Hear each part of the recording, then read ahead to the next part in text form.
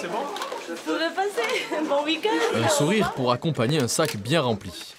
Une baguette de pain, quelques œufs frais et des yaourts. Des invendus récupérés auprès des supermarchés de la région.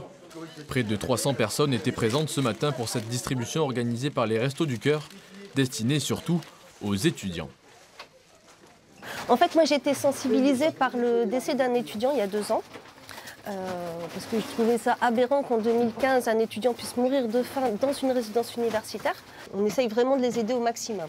D'ailleurs, il y a un étudiant hier qui m'a appelé maman. Donc, euh,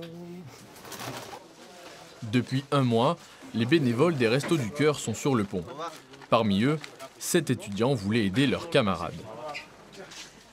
C'est génial et altruiste de venir de donner à des gens. De toute façon, ici, tu peux même rencontrer des camarades de classe, etc. Donc, tu le fais pour tes camarades et tu le fais aussi pour toi. Shérif vient de récupérer son colis. En troisième année à l'université, le jeune étudiant se rend au Resto du Cœur, contraint par les fins de mois difficiles pour remplir temporairement son réfrigérateur.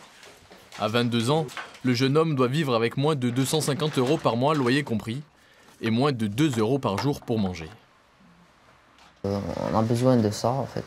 C'est en plus, euh, voilà, c'est- des courses, euh, c'est des gratuites, donc euh, on profite un peu, euh, on profite parce que on a un budget limité, j'ai un budget limité, donc je dois, je dois faire attention, je dois dépenser le minimum. Dès la semaine prochaine, la distribution va s'intensifier. Des produits d'hygiène et des vêtements seront aussi distribués, signe d'une précarité étudiante qui ne cesse de progresser.